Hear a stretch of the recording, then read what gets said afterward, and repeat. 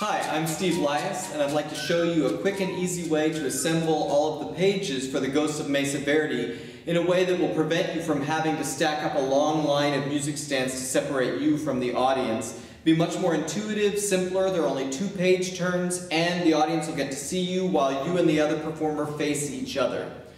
First, let me show you how to tape the pages together.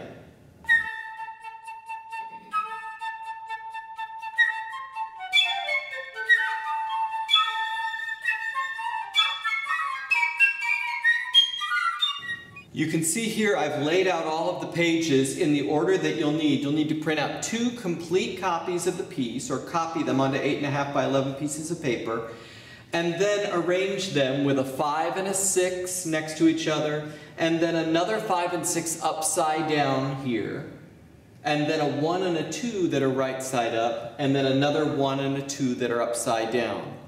The, and that's one set of music. Leave that, uh, tape those together and leave it separate from this set. This set will be a three and a four right side up, a three and a four upside down, and then a seven and an eight right side up, and a seven and an eight upside down. Once you've got these taped together in this format, then you can fold them by pulling the middle up and just folding it over onto itself. If you want to, you can tape the top end. If you don't, it's not necessary. And so you'll end up with two, and I've labeled them to be clear. On mine, I've labeled them player one left and player one right. Now let me show you how that works when we assemble it on the stand.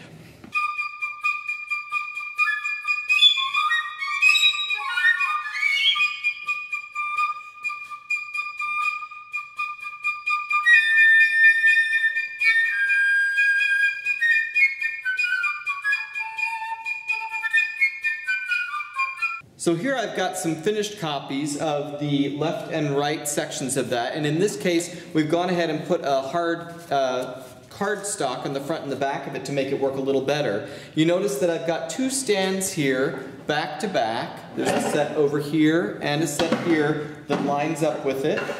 And then on the other side, I've got another set of two stands. So there are four stands here, and I've labeled player one left, player one right here. I'm going to simply flip it open so that I can see the first page here. I'm going to flip this one open so that I can see pages 3 and 4. So I've got pages 1, 2, 3, and 4 all ready for the first flute player.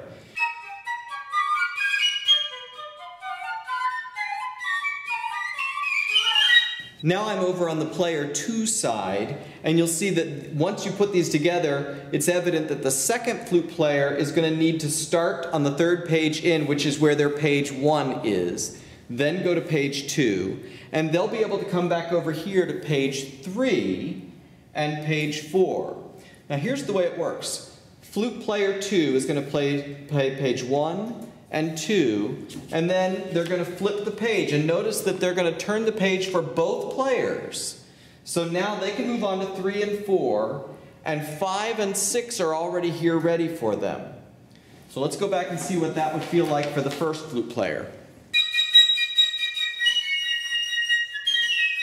So I'm the first flute player now, and I play page 1, page 2, page three, and while I'm on page three, the other flute player will have flipped this one over. So I'm on page three, and I'm on page four, and I'm all ready to go back over here to page five. It's already set up.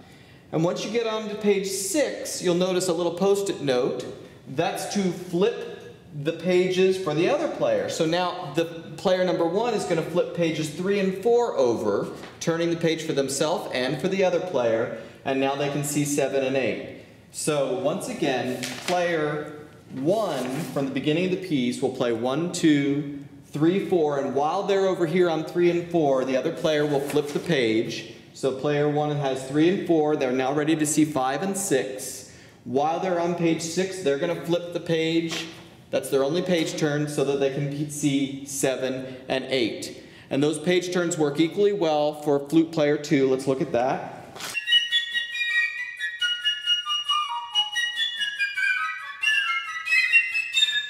So here we are ready for flute player two. They'll start here on page one, page 2, they'll flip the page, go to page 3 and page 4. While they're on pages 5 and 6, the first flute player will flip this over and they'll be ready to play page 7 and 8. Very easy.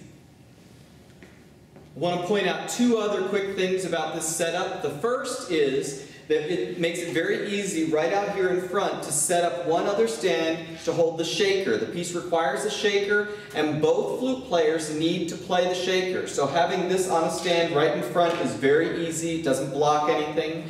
And if you want to have an additional stand upstage for alto flute and piccolo, that's very easy as well. The other thing is that the two players get to stand here and face each other as they're playing. They're not traveling around the stage. They face each other and the audience has a very clear unobstructed view of both players.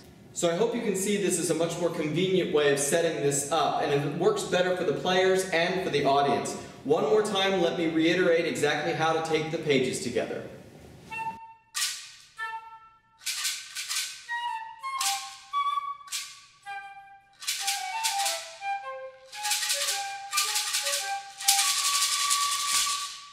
For flute player left, you're going to have a copy of 5 and 6, and then another copy of 5 and 6 upside down, then a copy of 1 and 2, and another copy of 1 and 2 upside down. They'll fold together to make one booklet which you can tape across the top or put some cardstock on if you want to. For the other player,